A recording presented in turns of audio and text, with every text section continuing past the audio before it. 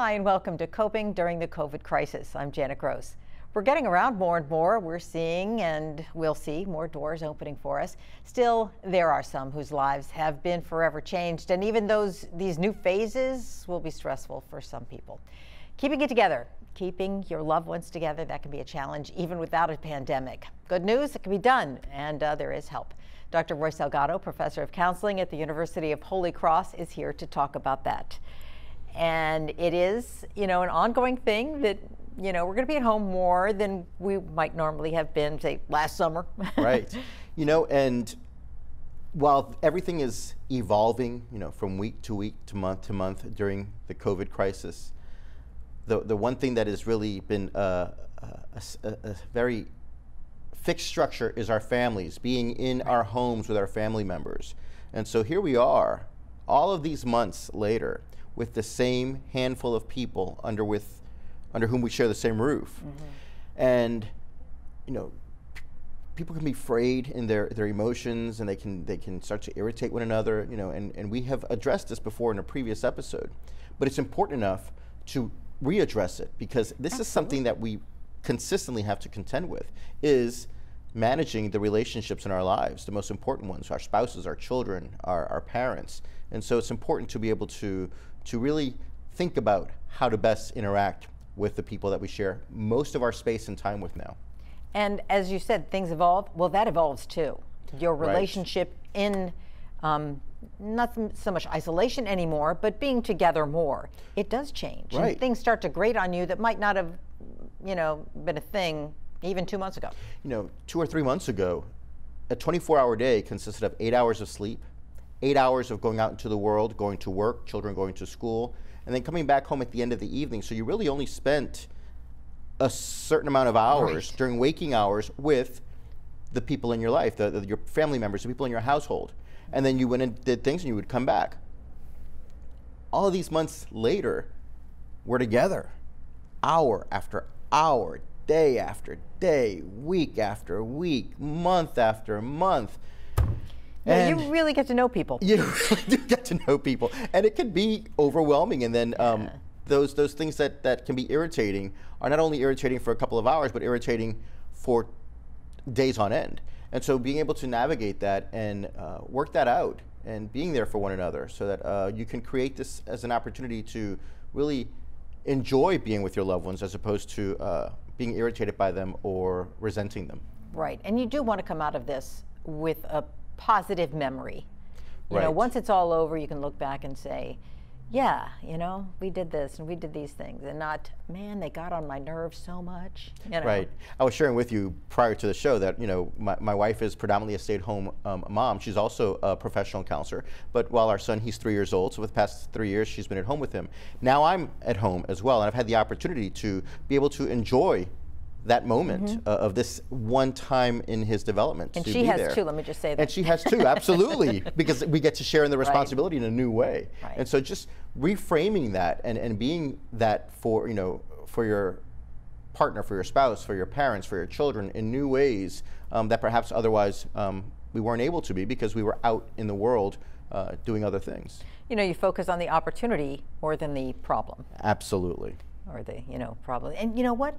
I've learned a lot about myself too, and I guess a lot of people do when you're stuck at how you react all the time, and you know, right. oh, I bet that's getting on their nerves or whatever. Right, and being mindful of that too. Mm-hmm. You know mm-hmm. that you know there are things that we do right. that are irritating to others. How is that possible? But I guess. Moi. Yeah. but we do. We yeah. irritate others, and so you know, yeah. being on top of that, and and it's a, it's an opportunity to gain self awareness because you're around the same handful of people all day long as opposed to being in different situations with different people throughout the course of the day. If you're eight hours with one group of people and then eight hours with a different group of people, then you're only with them in a limited amount of time, and so maybe something is not warranted um, to be mentioned if you're doing something that's grating right. or irritating. But if it's for 24 hours, weeks on end, months on end at this point, then things are probably being addressed worldwide, but to learn how to address them accordingly. So you really have to um, maintain. Uh, or give your family some grace? Right. A little bit of leeway? Absolutely. It's and important. hope they give it to you too. right.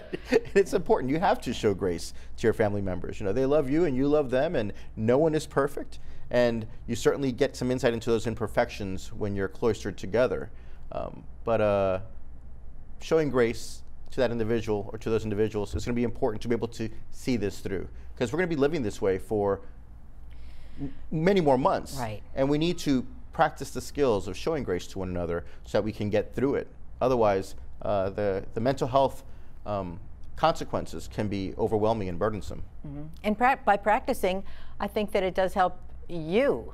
You know, it doesn't Right. just help the relationship or it doesn't help the other person, you know, be able to look at you anymore, but, but it helps you, Right, right. you know, if you're working on it. Yeah, you know, and we're always wanting to be heard by the other person. This is an opportunity to learn how to listen to someone else and really uh, understand why it is that people do what they do, why what it is that they're thinking and and their process for engaging whatever uh, activity may be that might be irritating you. Just listening to understand what the other person's perspective might be. Right.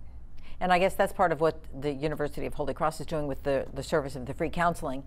They're giving people an ear to Right. maybe talk it through and, and get the other side. Without going to the other side, get the other Right, side. exactly. You know, one of our tracks is the marriage and family and couples counseling track, and that particular track teaches our counselors in training how to navigate systems, family systems, and they have the skill sets to be able to offer that to the client that comes in. They come in with their side of the story, but then the counselor can perhaps offer them um, a different perspective. Have you thought about this and how this perhaps impacts fill in the blank. And so our counselors uh, certainly have the training and the skill sets to be able to offer that to a person who's navigating uh, interpersonal dynamics um, within their home. Right. And, you know, while we're talking about that, if you want um, to be a part of that, oh, I know I have the number here. Wait. Okay, I got it. Um, 504 398 2168. And that is, you can call them and arrange to have a counseling session. Um, uh, telemedic- telemedical or even on telephone, Right, uh, through right. Zoom or something. Yes, through the telemental health counseling uh, platforms that we have in place, you can reach out, call uh, the counseling and training center, and the administrative assistant would take that call, triage it to the director, and then the director would assign you to a counselor that can help you with your presenting problem. And if that includes um, trying to navigate interpersonal dynamics within your home while uh, dealing with the COVID crisis, then that's something that our counselors are trained to do.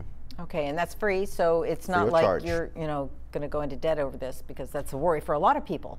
Yes. Not just now, but in uh, many other Yes, times. yes, because uh, counseling services in the marketplace can be quite Yes. um, expensive, and so this is something that's free of charge to the community, anyone in the state of Louisiana, and uh, we're here to offer that service. And that's normally there's a nominal charge, but Yes. once this hit, you guys changed like that. Right, we saw that there was a need, and we, as part of the missions of the Marianites of Holy Cross, realized that we needed to get in front of this and provide this service to the community because if this was going to go for the long haul, as it is, we realized that uh, tempers would be frayed, um, people's emotional well-being would be impacted, and so this is a service to the community um, that keeps in line with the mission of the university and the Marianite Nuns of Holy Cross. Okay. Well, we're going to take a break, and when we come back, we're going to talk about the need for space, not necessarily social distancing space. Stay with us. Why should young people care about the spread of coronavirus? Well, we know that people with underlying medical conditions over the age of 60 are at highest risk, but they've got to get it from somebody. So we're asking everyone to be selfless for others so that we can protect those who are most susceptible. not going to bars, not going to restaurants. It all just means physical separation so that you have a space between you and others. For more information on how you can social distance, please go to coronavirus.gov.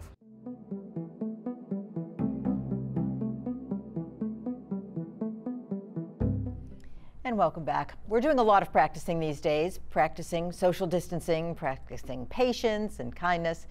Dr. Michaela Hartline, uh, an assistant professor of counseling at the University of Holy Cross, is joining us now to talk about all that practicing and will we ever get it right? I know the answer no. No. but you have to keep practicing. That's what we it have is. to. It's That's all right. in all of our best interest to do so. That's right. Dr. Hartline, thank you for joining us. Thank you for having me again. Okay, so we, um, uh, we have been talking about maintaining our relationships and really valuing them and putting emphasis on them during this time. Even as we have more freedoms and as we um, go further into the summer, it's it's important that we keep those we loved in a loving relationship. And I guess that that can, you know, people can grate on your nerves, as in many situations. But when you're together so much, it becomes a bigger issue. Absolutely. Um, you know, individuals don't have that that time for themselves when you're in a house with your children or with your spouses and with your family.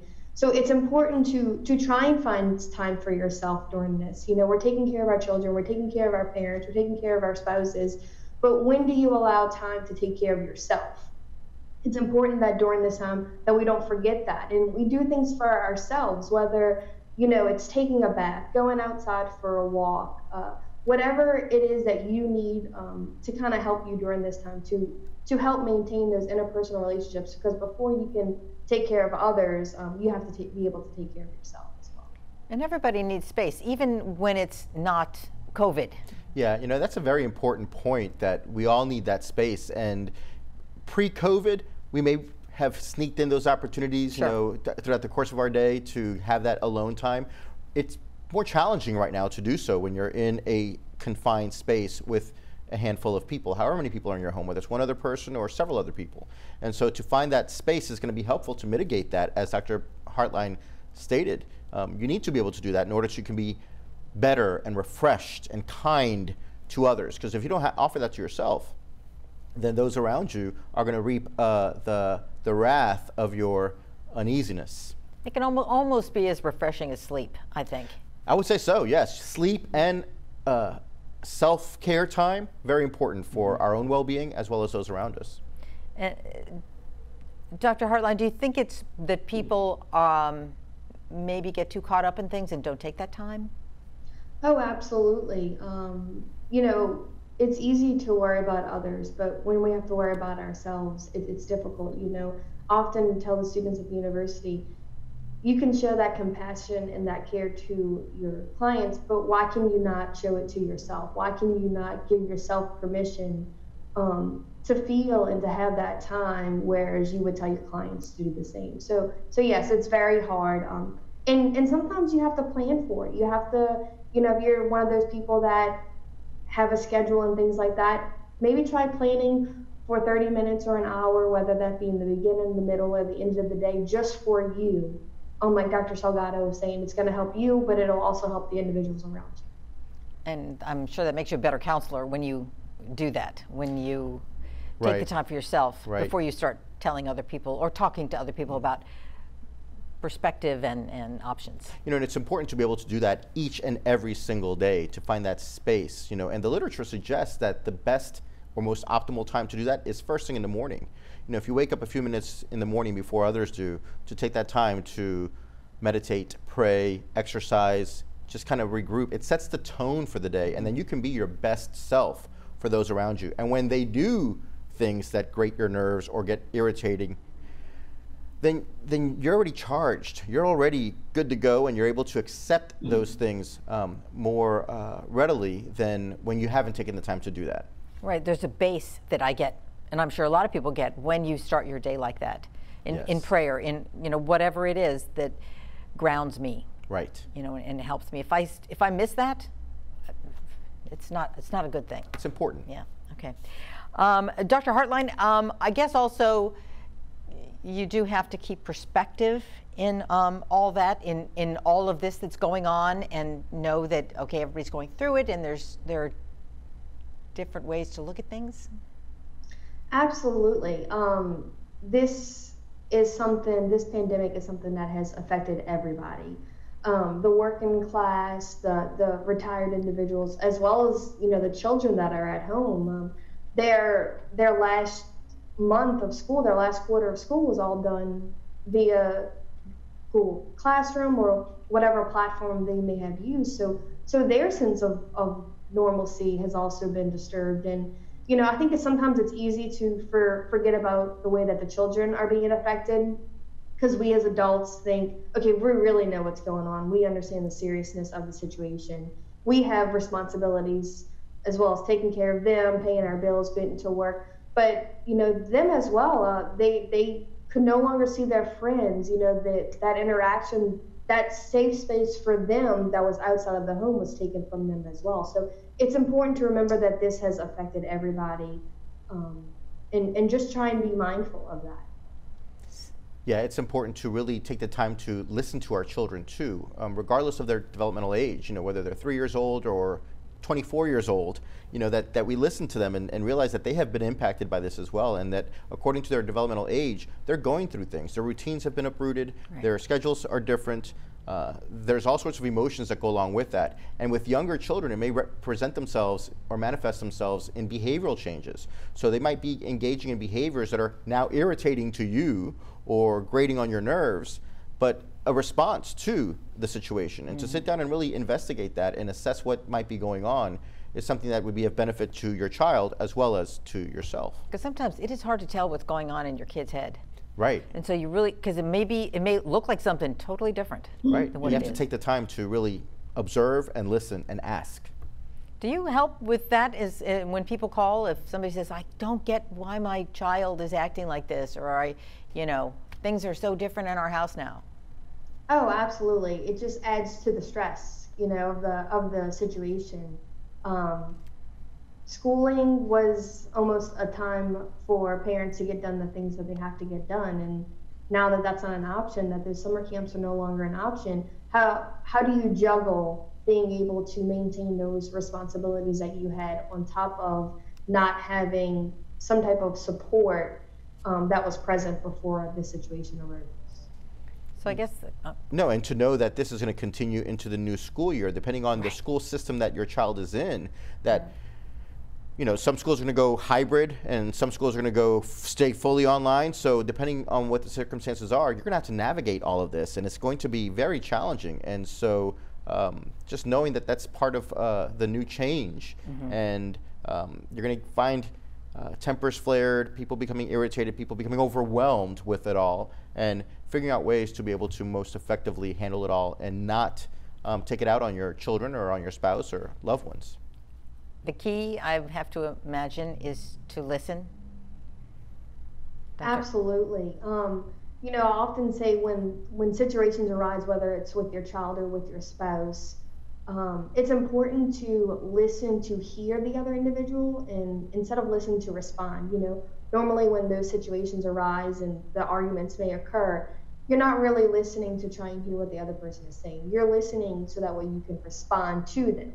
So it's important to to try and be mindful of the stressful situation and calm yourself down and go back and reevaluate and have the conversation and listen to actually hear what that other individual is trying to say. Boy, that's a good advice at any time. Yes. Because you can kind of tell when somebody's waiting to say what they want to say. right. And so just being mindful of that and really listening, as Dr. Hartline said, and not be waiting to respond to whatever it is that may have been said. Okay. Dr. Hartline, thank you so much for joining us. It was, it was really interesting talking to you. Appreciate it. Thank you. Okay. All right, we'll be back in a moment with some tips on how to keep those loving relationships intact, even as so much around us changes.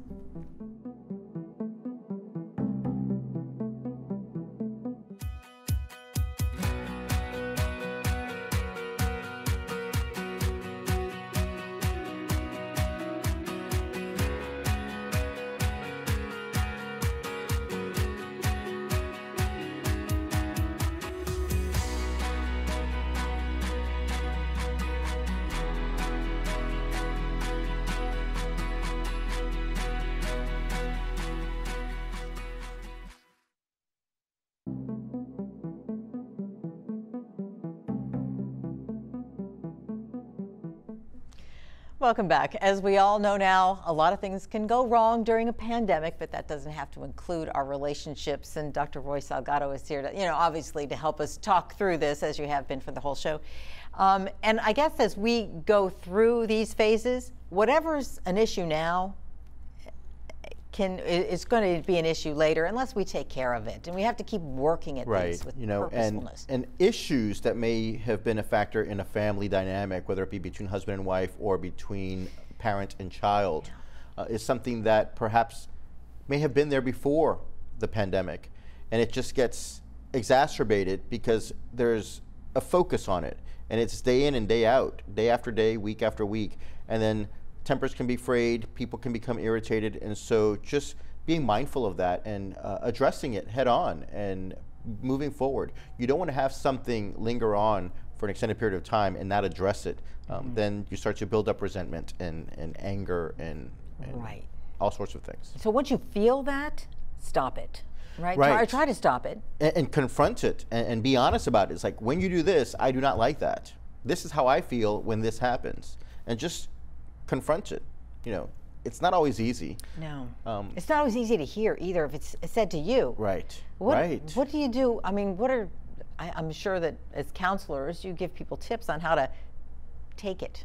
Right. And, and be strong through right. it to, to improve. And that's what we as counselors refer to as uh, receiving corrective feedback. Oh. And so, you know, uh, the, the term that many people use is constructive criticism. You know, nobody likes to hear constructive nope. criticism um, because it's I like the criticism. constructive part. It's the criticism. It's the criticism mm-hmm. part that that resonates yeah. in, in that doesn't resonate.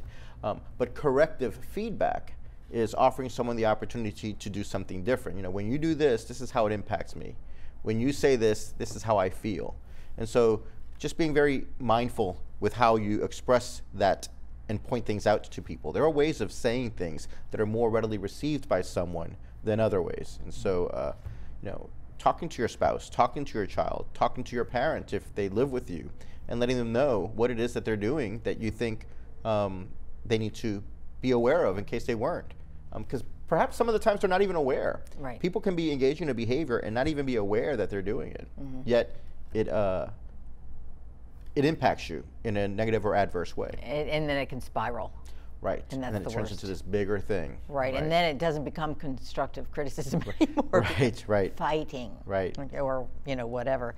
I guess, you know, you, you talk a lot about mindfulness and purposefulness. And I guess, you know, as we um, go into these different phases, because we're going slowly through it, or hopefully we're going slowly through it, it gives us a chance to really kind of think things through before we make our decisions. Right. You know, and because we're in the same spot, in the same home, for an extended period of time, we're perhaps moving at a slower pace than we have before. And so it does offer that opportunity for us to be mindful of how to approach things. And being that we're going to be in our homes with our loved ones for months, extended even more months, um, that we address it now. So, you know, when you do this, I don't like this. When you say this, this is how I feel and to address it so you don't continue. Because if you were to feel a certain way, if you were to feel anxious or stressed out or angry for months and months and months, eventually that valve is going to burst and it can the consequence could be something even greater. So it's better to address it early on and be honest about it and, and find a solution to whatever it is that it may be, because it could be small now, but six months down the road, it could be a really big problem. So it's important to address it early on and be truthful with what you're feeling and what you're thinking and how others are impacting you. And I guess on the other side of that, the things that are working great, the things that yes. we want to hold on to because, oh, we made these changes and this kind of um, personal experience or this kind of reaction that works for me or right. that works for us. You know, and not all things are negative. You know, nothing right. is black, nothing yeah. is white. There's a lot of gray in the middle, um, and so while there may be instances where someone is irritated or annoyed with a family member, but there are many other instances where there are joyful things going on. And so to really um, invite that into your life and to focus on that and to redirect our attention to all the good things um, that present themselves during this time. This is an opportunity for families to to eat meals together, to play together, to read and, and talk about what you have read or read books to little children. There's so many different things that uh, can be done during this time that can help mitigate the other things. You know, those families who, who eat meals together, who play together, who share um, experiences together, and parents who read to their children, when those children are read to, they acquire the, the, the skills, the language skills to be able to express themselves. And so when they're, they're able to verbalize what they're feeling and thinking, they're more likely to verbalize and express it that way, as opposed to in a physical or behavioral way, as opposed to aggression or something of that nature. So being able to invest that time, energy, and effort right now in doing that to help mitigate some aggressive or, or, or violent way of responding in the future. And by violent, I don't necessarily mean a physical right. act, but perhaps, you know, words, um, saying something that you would regret and uh, really can't take back. And those are great lessons to learn. Right. Even the lesson of listening. Yes. You yes. know, for a, child, because you want to, you know, kids they want to say what they did on their day, but uh, the lesson to learn what their sister did on that day or what you did on that, you know, important good. skills, Mm-hmm. you know, important skills to learn at home so that when you're interacting with people out in the world, whenever you're able to do that, Sure. that you're able to bring that to the world and offer that to other people to listen to what it is that they're having to say. And although this has been around for a long time, it's just we just ha seem to have a little more time because we're all jammed in the same Yeah. environment more and more. Yes. Well, you know, as we can get out, we can change that now. But um, it is important to uh, learn these lessons. And It is, you know, because while we still can get out and, and do more things, um, we have uh, fewer restrictions than we did, you know, a month ago, Right. or certainly three months Yeah. ago. But with that, we're still encouraged to stay home. You know, it's actually better for everyone to be home more often than to be out and about doing whatever it is that you have to do. Now we realize that we have essential things that we need to do in terms of work and buying groceries and going to the doctor and getting haircuts and things of that nature. But um, staying at home helps reduce the spread of the virus. And by doing that, by staying home, then these situations present themselves where you have personalities that are around each other a lot more often and tempers can flare. So to balance that out, spending time with one another in very intentional, purposeful ways where you're Right. eating together Special playing times. together, special time. We have more of an opportunity to do that now than we ever have. Okay. Well, I know that you, uh, as always, have some tips for us to uh, try and get us through this. Yes, and I think that it's important for us to know to enjoy our time at home. Um, we have all this extra time. It's important to enjoy it and to spend time with the family, to nurture our spiritual and personal growth while we're with our family. And you can share that too. And we can share that absolutely with one another. It's not necessarily a private thing. That's a really good Yes. And It's something that I would encourage many people to do is to share that with others, Mm-hmm. um, not only within their family, but um, outside of their home. To minimize stress, um, maintain personal hygiene, we need to not forget to continue to do that. Right, Get- because it's pretty easy to become a slob.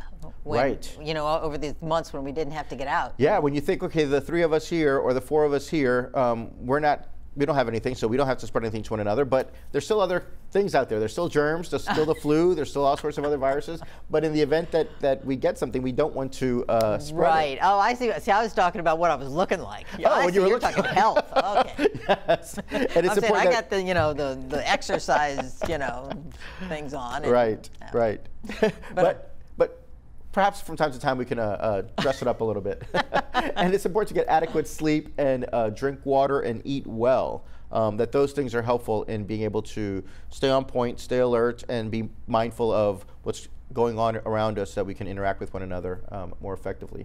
When we do have to interact with our family at an extended period of time and there's something that's going on that's not quite working, it's important that we listen to learn what it is that they're expressing, that we take the moment and stop talking, that we stop talking so that we can listen. I love that that. we're yeah, and it's important. That's key.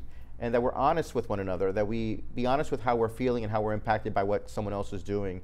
Um, that we repeat back what we've heard so that we can really convey that we've truly understood something. That we encourage the other individual with positive feedback, that not everyone is all good or all bad. That we encourage them and say, well, I don't like this behavior, but you I love. And pay attention to your responses. That uh, mind your words because how you say something is going to be um, crucial as to how it's received by the other person. And then the continued interactions with that family member, with that loved one, will be better um, in the long term if you do that. Right. Okay. Good advice in any time, but especially now. Okay, well, Dr. Salgado, we thank you and your colleagues at the University of Holy Cross for joining us and talking through these issues. And we thank you for watching as always. And we want to help as we are all coping during the COVID crisis.